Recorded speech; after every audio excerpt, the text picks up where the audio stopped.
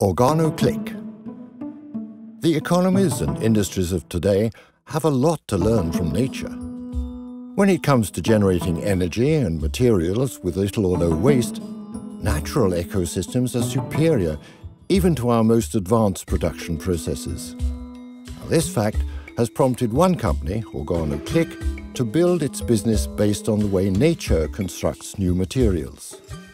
Using organic chemical catalysts, OrganoClick has developed innovative ways of attaching functional molecules to biofibers.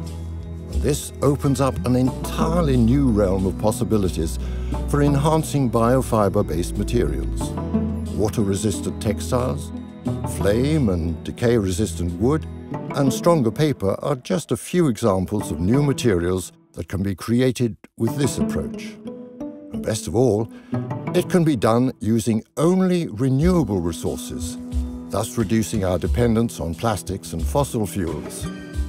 Take the example of paper production, one of today's most energy-intensive industrial processes.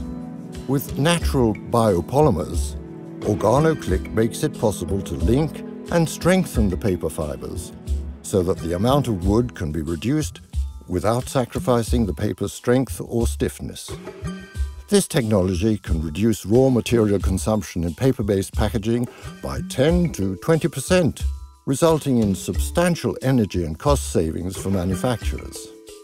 It's evident that this kind of green chemistry can deliver very positive results along the entire market chain. Lighter and stronger cardboard alone will have far-reaching impacts on our environment by reducing material consumption and transport-related emissions.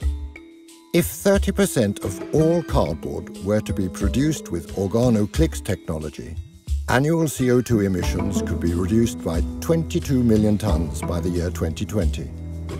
Imagine the effects of similar solutions inspired by nature, waiting to be used in the quest to stop global warming.